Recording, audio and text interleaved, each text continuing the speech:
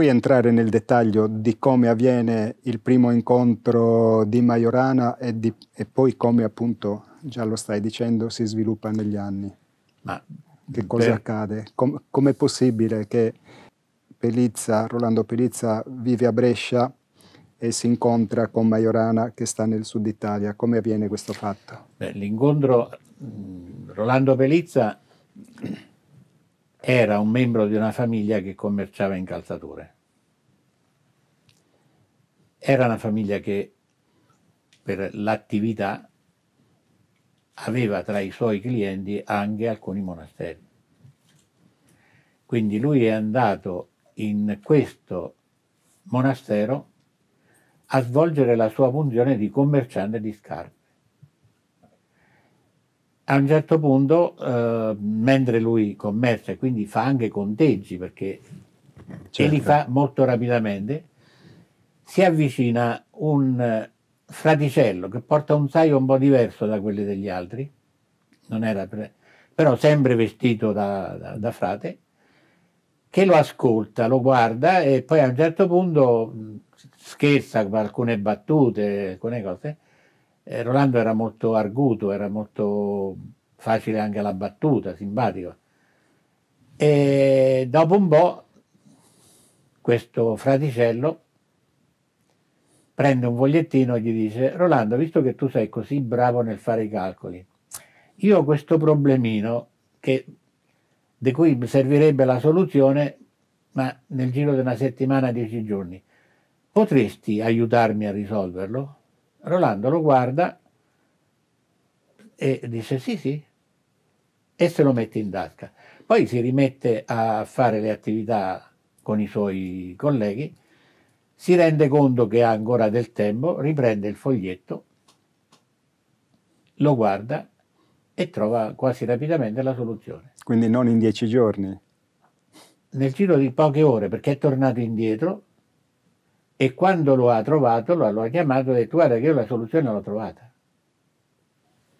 E questo Rolando, eh, Ettore Maiorana lo ricorda in una lettera a Rolando Pelizzi, di come lui, che fosse uno dei più bravi a fare i calcoli e era riconosciuto da tutti i colleghi di via Panisperna, si è sorpreso di come c'era un altro che era capace. E lì Ettore Maiorana ha capito che aveva davanti il soggetto di cui lui aveva bisogno, perché Ettore Majorana era un fisico teorico, puramente teorico, e non avrebbe avuto nessuna possibilità di sviluppare materialmente la macchina, ma ha bisogno di qualcun altro con il quale entrare in contatto. Siccome per Ettore Majorana, per poter sviluppare il progetto della macchina, aveva anche, e non potendo fare i calcoli con le calcolatrici che non c'erano, ma li faceva a mano,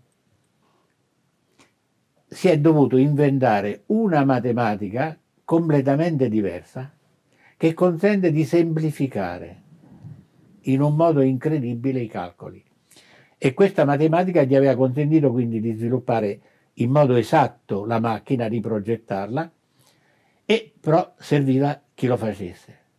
Rolando Belizza era conosciuto dal convento perché era un pratico, risolveva rapidamente i problemi anche di tipo tecnico che c'erano legati alle calzature e non solo, anche ai materiali delle calzature. E in più aveva questa rapidità di calcolo, questa grandissima rapidità nel fare i calcoli e aveva un'altra caratteristica. Non aveva studiato non aveva i limiti che il nostro tipo di studio ti mette, i paraocchi. E quindi era curioso e aperto a tutto. Una mente vergine. Diciamo. Una mente... E quindi a quel punto lui gli ha fatto una proposta e gli ha detto, io sono a conoscenza di una... ho sviluppato una fisica e una matematica che fuori non c'è. Ti andrebbe di approfondirla, di studiarla insieme a me? Rolando Pelizza, che per risolvere i suoi problemi. A volte trovava degli ostacoli abbastanza eh, grandi anche nella sua attività o nelle fabbriche, ha accettato immediatamente, perché ha intravisto che aveva davanti un uomo dalle anche se coperto d'acciaio o anche, nonostante acciaio, eh, di un'etica particolare perché si era comportato sempre in modo esemplare, ma gli metteva a disposizione una conoscenza che lui non aveva più possibilità di recuperare da nessuna parte.